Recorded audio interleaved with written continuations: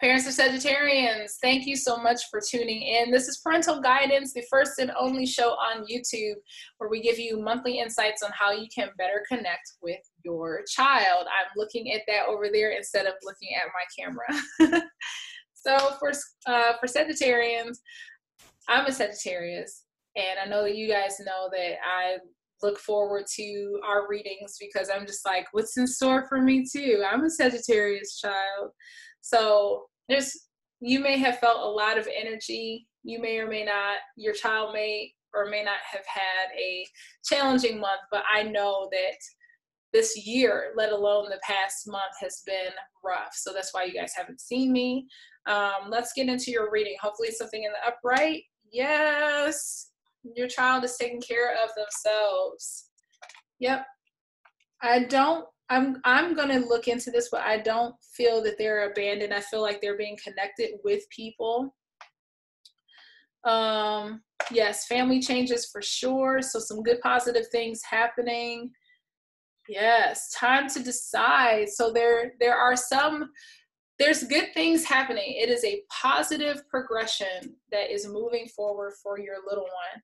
So I feel like in the month of November and uh, happy well, yeah, your birthday is coming later this month, but um, happy early birthday to all the Sagittarians if you're um, watching this late, little babies, and happy uh, giving birth day to all the parents who gave birth to Sagittarians this month. So your child is nurturing themselves. Whatever it was, their vitality was just zapped, and they are regaining steam. They're getting back to themselves. Um, as far as the orphan card in reverse, I'm getting, I'm just, I'm feeling like they're catching a second wind, that they don't feel orphaned or abandoned. Now, I could be wrong. I want to look at the card because I know this card does talk about abandonment, but um, I think it's, um, I don't know. It's important to to note, but it could also have different meanings. So this card is saying the shadow side of this card speaks to the essence of abandonment. Perhaps you feel a need to remain apart because intimacy is um, too threatening. It also warns against creating inappropriate family structures in order to conceal old wounds. Um, it's time to address any uh, the unhealthy alliances you formed and make a decision. Time to decide. Family changes. So if you're an adult this is this could be definitely speaking to something along with a relationship or some kind of family change that is uh, going on in your life. Um, but you're addressing those things that you formed and um, and make a decision to heal the past. You will not be abandoned by the world if you claim yourself as whole. Not all relationships are dysfunctional and not all of them will disappoint you. Don't abandon yourself. You can connect with others in a healthy way to recognize or healthy way once you recognize your patterns and consciously choose to um, interrupt them. Life wants to love you. Let it.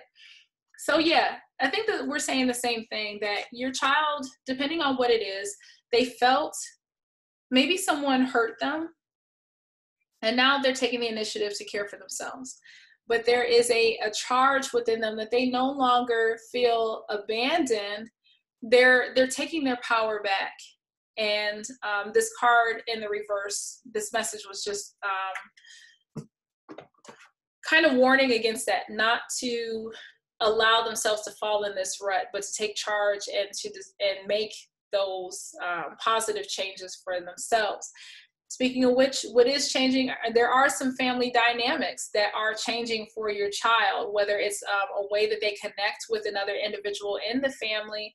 Maybe you are pregnant with a child. Um, maybe the structure of your family is changing. There's many things. It's just in the dynamics of the family. There are some changes transpiring, some shakeups. Um, but ultimately, at the end, it um, this the solution is make a choice. Choose this day, you know, going forward, you know, who you will serve, how you live your life, whatever. But it's it's giving your child an ultimatum to say, "Hey, okay, we've already gone through this, we've healed. Now, what's the next chapter going to look like? What what path do you want to take from here on out?"